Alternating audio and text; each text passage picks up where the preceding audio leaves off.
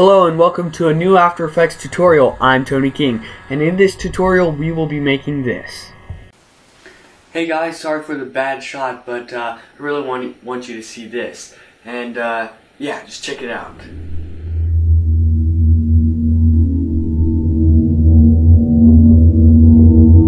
Alright, there you have it. Pretty neat effect of uh, lifting an object, um, a 2D object from your scene and uh, without any third-party plugins, which is also great. So, um, what we want to have first in our footage, in our actual footage, let me solo uh, my actual video here. What we want here is just to have our prop or whatever we're picking up just sitting there. Then after I um, I just did my little act right there, just talked. I then moved. I just threw the pen on the ground, basically. And um, so that's that's the basic um, get rid of it effect. So if, if you do that, then the pen will just disappear. And so what I did was I got a, a uh, screenshot of the, uh, or um, what do you call it, a freeze frame of the shot without the pen. And if you solo this, all you see is I have the just that part of the of the paper and the table. I just put that there, so then there is just the paper without the pen. So then the next thing I did was that I created a freeze frame of an of uh, the shot, and then I masked out the pen. Alright, so let me go to the beginning of the shot. Just uh, right right about here.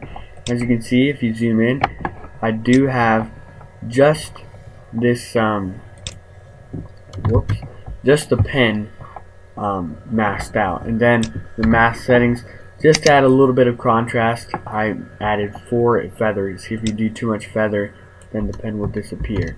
So four works for me. And uh, of course this changes for um, every single effect you do because you might not be lifting a pen and it will probably be in a different way or a different position. So next thing I did was um, I moved the anchor point from the middle of the whole image to the middle of the pen. So with the rotations, it rotates from the middle. And uh, if you want it to rotate from any other end of the pen, of course you just move the anchor point there.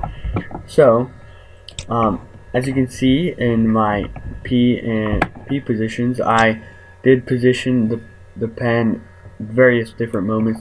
I did easy ease these um, these keyframes. If you want to know how to do that, just select one, right click, keyframe assistant, and easy ease. That basically makes it more of a smooth um, smooth animation, I guess. And so basically, I tried to follow my hands sort of with the pen with different positions. So if you do look at here, look at all these positions, it looks pretty, pretty wicked. And then I hit R, and I had several R rotations every five or so frames, I guess.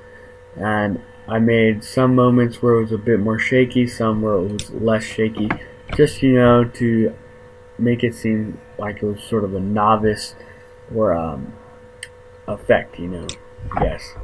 And uh, what I wanted to do then was here, if I turn off my effects, you can see that there is no shadow. It didn't look really real. And my drop shadow is not that great. I just did this really quickly. Um, so it's not perfect, but um, I basically just added the drop shadow effect. And if, you, if I hit U, you can see all my keyframes here. Um, from drop shadow, I started the opacity and I left it to 21 from from about 15 at the very start. And I just changed the direction and distance several moments just to make sure that it stayed on the table. And I put the softness up to 49 just so that it's not too harsh like that. And it sort of blends in. And you know it just looks a little bit it it's easier to hide that it's a that it was a poorly done effect. I just did it really quickly um, next what I added was a Gaussian blur, Gaussian blur that just adds a little bit of detail to um, not make it look so obvious that it's fake. And uh, that's the basic effect.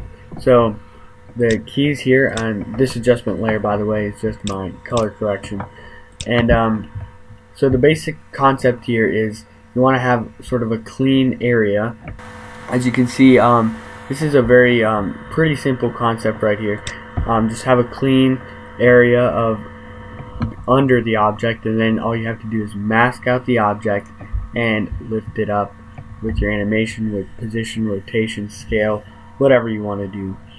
And um, yeah that's the basic concept. If you this is not 3d model so you can't really make any 3d animations other than moving it forwards and backwards.